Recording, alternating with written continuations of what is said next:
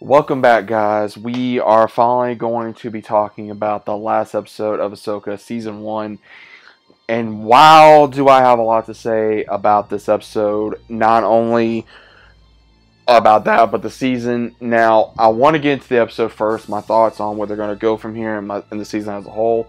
So, the starting of this episode because we're gonna get right into it, man. Because I I, I got like goosebumps slash jitters right now because of this episode, but I want more. Now I will say this that the the start off of this episode, we see where gr- the Grand Admiral Thrawn he is about ready. The cargo's ready to go. He is about ready to exit. Then the grand the grandmothers of Dathomir basically state to Morgan that due to her loyalty and due to everything she's done, they basically, long story short, they grant her their power. They give her a power up. They give her another sword. So she gets a very massive power boost to where she technically becomes, I would say, the fourth sister. And after that happens, you see where Thrawn is even puts in a hit on uh, the gang to basically slow them down. And while this is going on, we see where uh, Ezra is putting together a brand new lightsaber, and him and Huyang are kind of going back and forth. Like, hey, you know, you need to take your time. Says, I don't have time. Then after this, they later find out that, of course, he was the uh, student of Kanan Jarrus, which again they did bring him up, and you see how he ga- he gathers another piece to the lightsaber that was originally Kanan's. So it kind of brings it forth and he actually activates a blue lightsaber. So now Ezra has a brand new lightsaber. So the green one is now officially Sabine's. Ezra is going back to blue. And when this happens, they do get attacked by TIE fighters. They're able to fend them off, but the engines get destroyed at the same time while Sabine is able to pull off one last heroic move. And then they have no choice but to use these. Uh, I would say dog like uh, I don't want to say mules, like dog horses, I guess you'd say, to, to storm, I guess, the, the, castle between Ahsoka, Sabine, and Ezra. So they go to storm the castle of where they're at. And long story short, guys, they finally get there, and Thrawn is basically coming up with an attack to just rain down and he says hellfire. So he uses the Imperial ship to shoot down on the ground so we can stop them. They're able to get into the fortress, and when this happens, they are met by night troopers. Now, this this is the scene that really got me. First off, they start fighting off the uh, the night troopers, which was a great battle. And then, as soon as this happens, you see where Thrawn goes to the grant to the great mothers and informs them of the power that he was asking them for. Now, the power he's been asking them for for the entirety was to bring the stormtroopers back to life.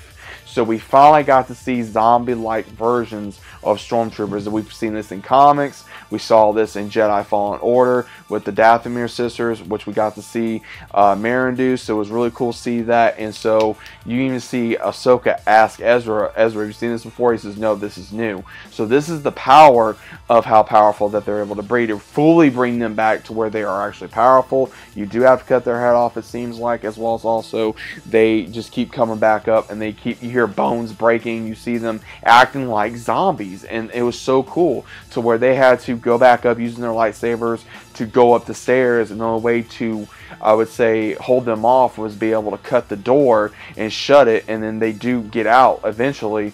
But that, that was just a very dark, cool scene between everything from Sabine having to use her lightsaber and shoot as well.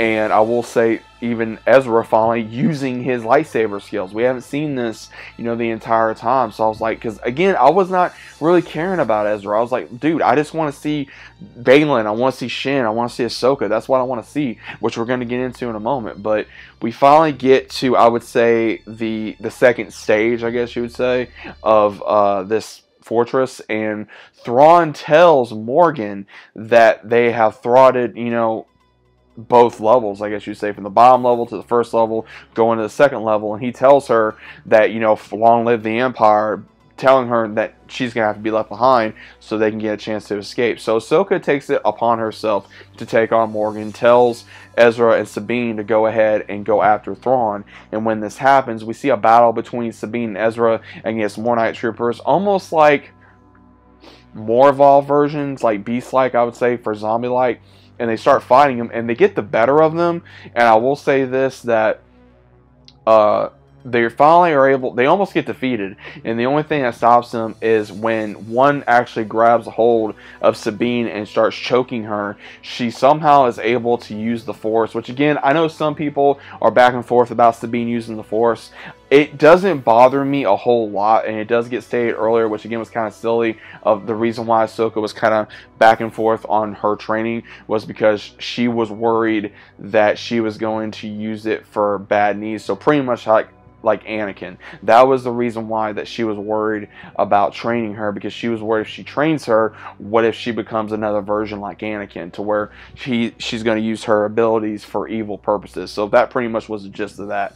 And her and Ahsoka do make up to where she even states that the only person that stood by her ever was her master. And again, anyone that watched Clone Wars, we know what we're talking about when she was framed by the by the uh, by Asajj Ventress, not Asajj Ventress, but um, I, I, can't remember her name. I, I, Bar- Barriss, I believe, uh, to where she was framed. The Jedi Council uh, disowned her pretty much, and then all that happened. So Sabine finally is able to use the Force, and we see where she actually helps Ezra, and they have to use both their Force abilities to be able to get on the ship because the ship's going.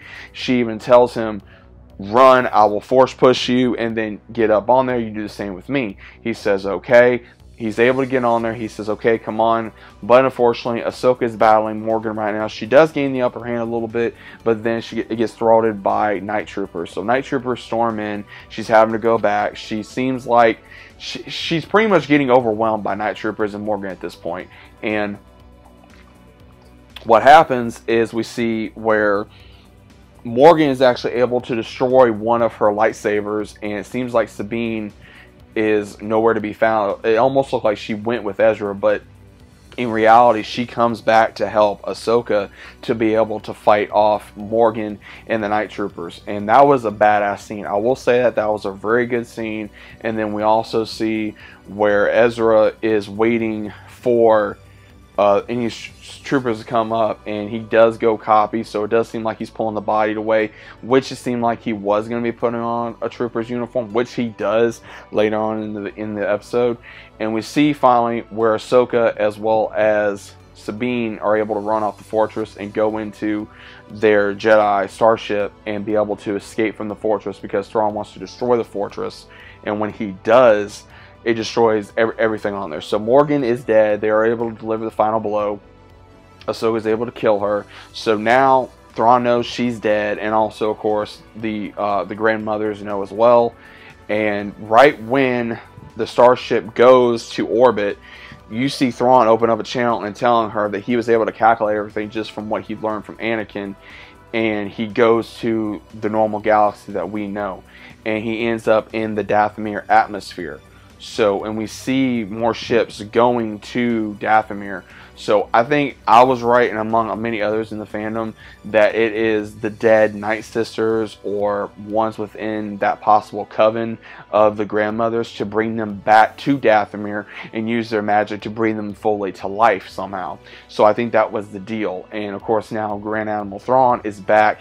He's going to gather all forces in the Empire. So we may be seeing that in uh, the the next season, of Mandalorian, hopefully, possibly in Book of Boba Fett, they do continue it. Possibly also in uh, Ahsoka season two, and then also the movie later on that Dave Filoni is going to be making and directing. Now, again, anything can change. Anything can change at this moment. So that is the big question. Again, is what's still in those uh, boxes that could be corpses of the Night Sisters, and what's going to happen now that Thrawn is back? How is this going to supposedly connect? To the damn sequels. Again, I know a lot of people, whether you love or hate the sequels, we're going to have to have them connected somehow, some way. I personally don't care. This is really the heir to the Empire by Timothy. This was definitely what fans wanted. This is not the crap that Disney gave us for the sequels. That, that I don't care about that. I want more of this. This left me wanting more. So now, unfortunately, Ahsoka and Sabine are stuck in this other galaxy. Ezra is actually able to make it home to the New Republic. He's actually able to do this. He gets off the ship and he's in a stormtrooper's uniform. No one knows it's him. And Chopper actually knows he's able to kind of pet Chopper a little bit. He takes off the helmet. Hera sees him and he says, Hey Hera, I'm home and and that's the way it ends. And I'm just like, holy crap, man. So what what's gonna happen with this? Like how are we gonna get them back? And Ahsoka and Sabine go to the local I, I would say the shell turtles or, or shell turtle aliens, however you want to classify them, to not only make sure the ship is repaired, but also gathering kind of resources and use them as allies. And we only see Baylan and Shin for like one quick scene. We see Shin. She goes to the night. Uh, I would say the Raider camp. Lifts her lightsaber up in the air. I'm, I'm assuming to possibly become their leader or gather them as allies.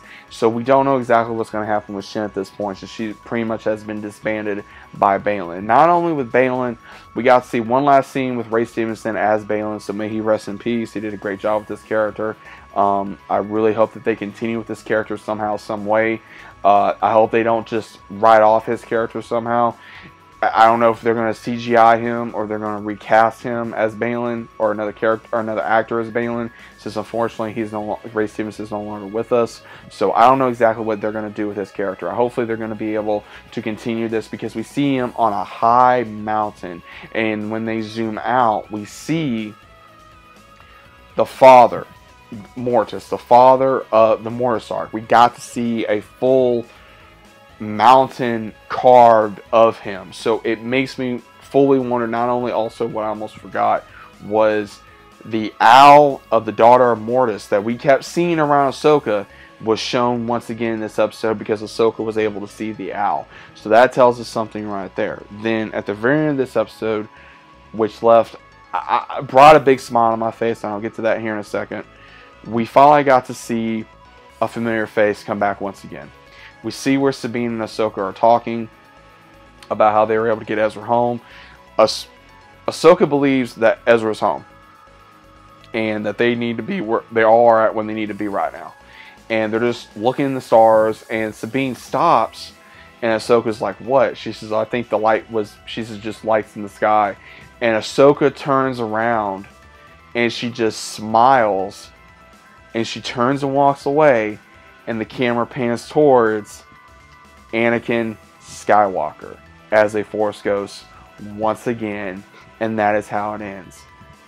Guys, this made me smile because not only is this the second time we got to see as Anakin as a Force Ghost since Return of the Jedi, but now that pretty much confirms that that was truly Anakin in the world between worlds trying to guide Ahsoka, guide his apprentice one last time to be able to help her. This brought a huge ass smile on my face.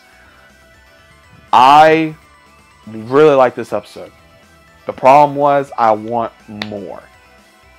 I, I feel like that kid of I want more to consume from this because this is what Star Wars fans want. This is what Star Wars fans need. This is what we want. And this is not, unfortunately, enough, in my opinion. Eight episodes is not enough. I know a lot of people are going to be wondering, oh, is it really that good? You know, I, I, I don't really care about the statistics. I don't care about how much Disney's making off this. I care about the damn story. That's what I care about. If they're able to continue this story, then maybe, just maybe, this can help Star Wars be better than what it has been within the last however many years. Was every episode perfect of this? No, but it was still enjoyable. It was so good. It was a love letter, uh, in my personal opinion, to fans of the Clone Wars, to the prequels, and to Rebels. And that's what it did. Now, again, was there some issues? Yeah, I wasn't probably the biggest fan of, of, of who they got for Ezra, but I'm able to get over it. I think the one that got to play Sabine did very well. Uh, again, still used to Rosario Dawson as Ahsoka, but again, in my personal opinion, Ashley Eckstein will always be Ahsoka to me. That was the first person I heard as Ahsoka, so to me, she will always be Ahsoka. The performances was good. Ray Stevenson was great. I like to see. I want to see more Baylan. I want to know more about Baylan. I want to know more about Shin. What is she? Is she, you know, just a normal uh, Force user that turned into what she is now? Same thing with Baylan. Who was his master? Who trained him? Why did he turn away from the Jedi Order? How did he become a mercenary? What is Shin to him? Is that his daughter, or is this uh, an orphan he found, or, or, or what? I mean, there's so many unanswered questions to this series that I want to know more about. But I did enjoy this season. I personally enjoyed this. I would say a tad bit more than Obi Wan. I say I enjoyed this more than Book of Boba Fett. I enjoyed it more than I would say the last season of Mandalorian. In my personal opinion, I know everybody's opinion is going to be different. Guys, go check out Ahsoka if you are Star Wars fans.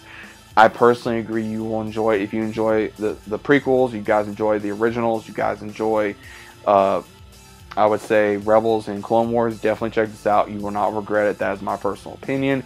Uh, I may make some more videos about this later on. Um, I have to let all this sit in, and maybe if I can hear some more theories, come up with some new theories, and see what we got for the future of Star Wars. But Dave Filoni, give this man the damn keys to the kingdom of Star Wars. I don't care. Get Kathleen Kennedy away from this.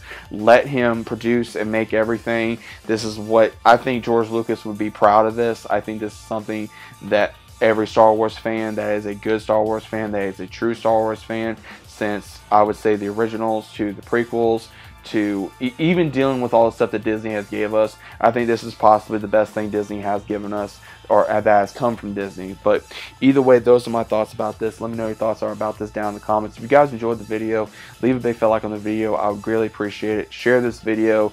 Let's talk about it. Let's have great comments down in the comments down below. Let's have a great conversation.